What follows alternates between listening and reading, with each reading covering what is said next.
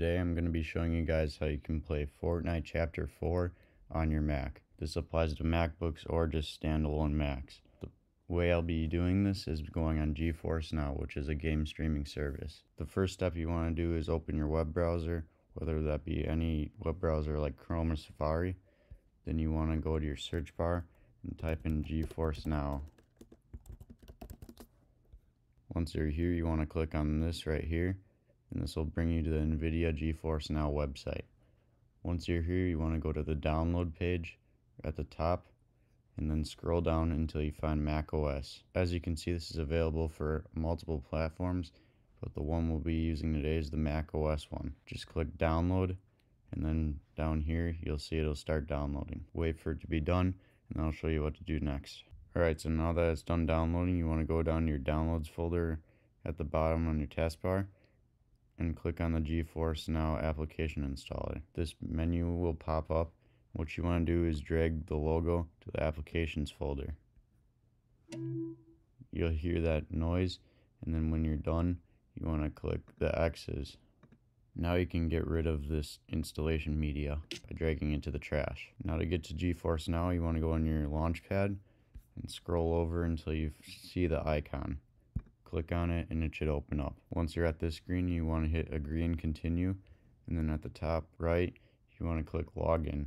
But first you need to hit these next arrows to just get through the tutorial. It'll show you how to use it. But you want to log in at the top right here and it'll take you to this website. What you want to do is if you've never made an account before, you want to make an account by entering your email to create an account and it'll show you all the steps or you can use any of these methods below. I already have an account so I'm just going to log in. Once you've created your account you'll see it up here and now you have full access to GeForce now. What you want to do now is go to these three lines and then click settings.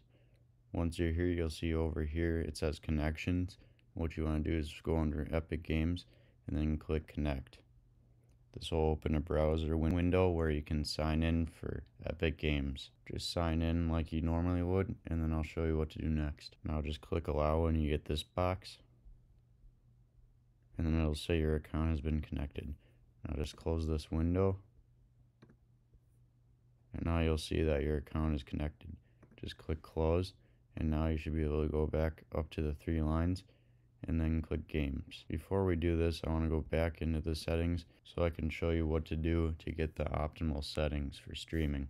If we scroll down here and go to streaming quality, you'll see there's multiple options. What I would recommend doing is going to custom and then clicking this and choosing the highest resolution possible, which would be this.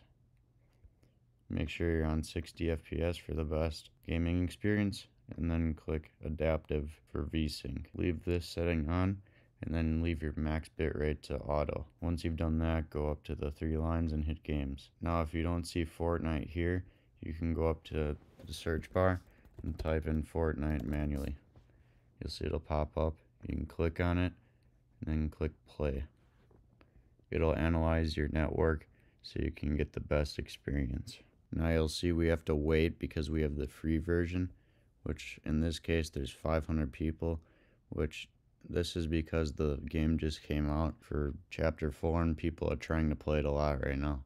You'll have to wait or you can upgrade if you click on this button and you can skip the wait. Since we have the free version, we have to wait. Alright, so now you can see we're in the sign-in screen for Epic Games. We just waited for the 400 people to go by and it only actually took 30 minutes, which isn't much for 400 people. But once chapter 4 is out for longer, the wait time should go down. Anyway, you want to sign in with your Epic Games account, so I'm going to go ahead and do that, and then I'll show you what to do next. Alright, so now it's loading up, and we should be able to get in the game once it's done. As you can see, we're now in the game. We can do anything like that we would usually do. And if we go into here, into the settings, you can see all the PC graphics settings are here. So you can mess around with these. And down here we can see we're getting 120 FPS. So it should match your MacBook if you have a ProMotion MacBook. Right now I'm going to mute this microphone. Alright, so now you can hear me better. We'll just jump into maybe a Battle Royale game and see how it performs.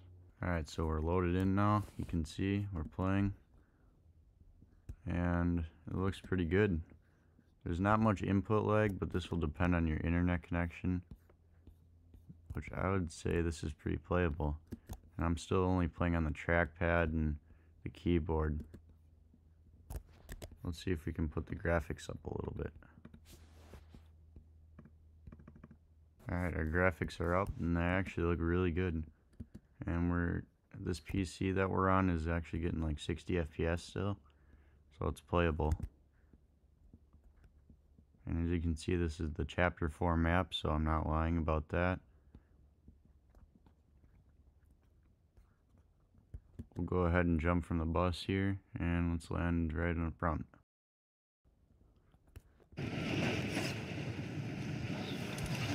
Alright, so I turned on the audio so you can hear that it's actually working. I'll go ahead and turn it down a little bit. But it is a little bit stuttery right now, but that's because of the PC that they use. But forgive the gameplay, I'm playing on a trackpad and laptop keyboard.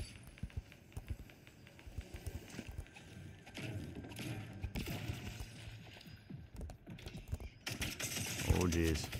Yeah, I just died because I can't play on a trackpad. But as you can see there, it works. I mean, we'll spectate this guy. And see it runs pretty good. Especially for game streaming.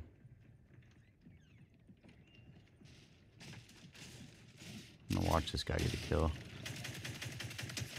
Oh, jeez. There he goes. Alright, but that's just to show you that it works. We'll go ahead and leave the match now.